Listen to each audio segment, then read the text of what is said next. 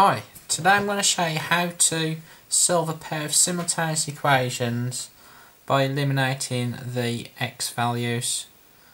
So just to recap, if you're asked to solve simultaneous equations you need to work out the values of x and y so it gives you the numbers in both equations.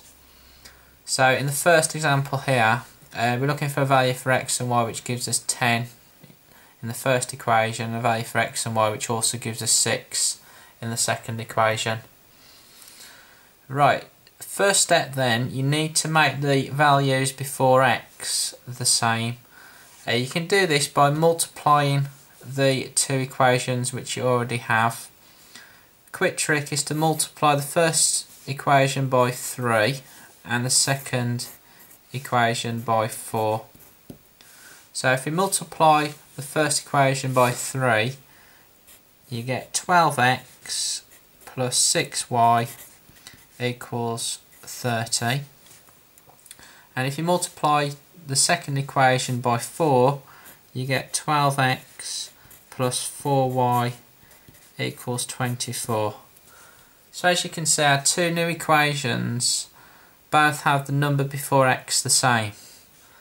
So this means we can eliminate these x values by taking the equations away.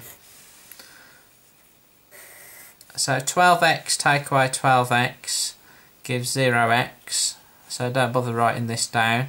6y take away 4y is 2y, and 30 take away 24 is 6. So we've ended up with the equation 2y equals 6 all you have to do next is solve this simple equation by dividing both sides by 2. So this will give y is equal to 3. So we've worked out our y solution. All we need to do now is find the x solution. To get x you need to substitute this value of y back into either the first equation or the second equation. It doesn't matter which equation you choose as both equations will give you the same answer. So let me go with the first equation.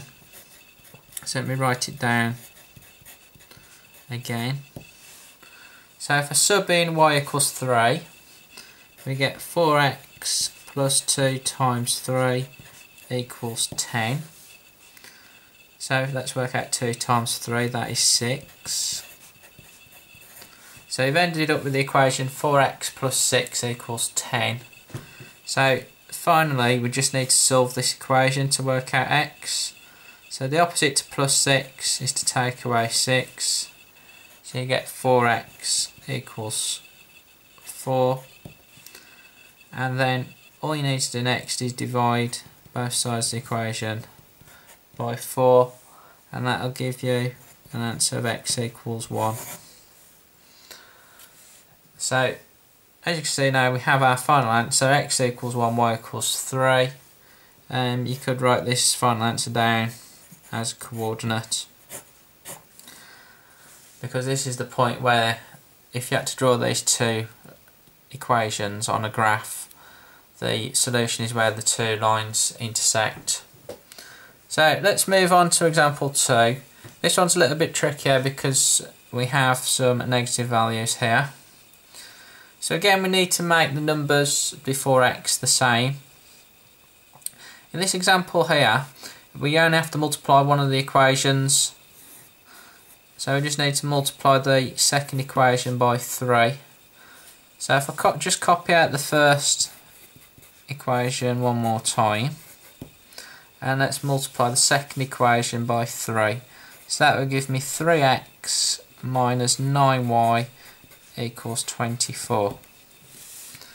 So to eliminate the x then we need to take away the equations because 3x take away 3x is 0x.